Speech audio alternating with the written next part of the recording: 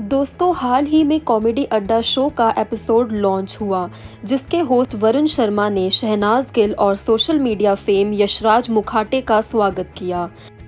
आपको टीचर ने love letter लिखते हुए पकड़ लिया था इंग्लिश नहीं आती थी मैंने लिखा था you are my first and last husband Shehnaaz Gill ने अपनी ज़िंदगी से जुड़े कई गुप्त राज बताए।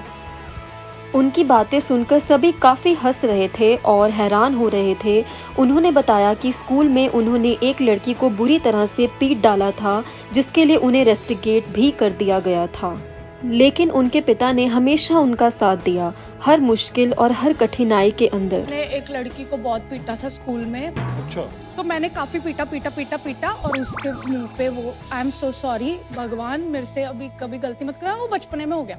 तो वो उस यही नहीं, शहनाज ने पंजाब के लिए अपना प्यार और लगाव जताया और जैसे वो हमेशा एंटरटेन करती हैं, वो हमें उसी तरीके से मनोरंजन और एंटरटेन करती पाई गई।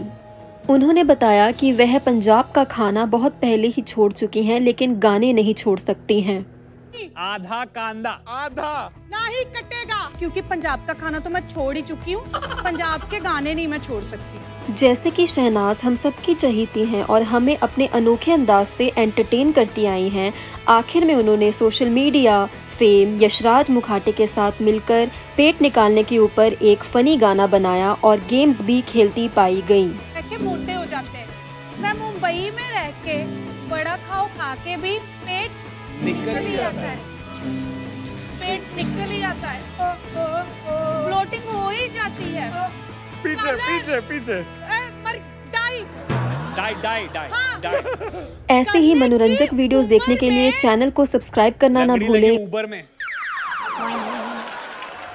Like share and subscribe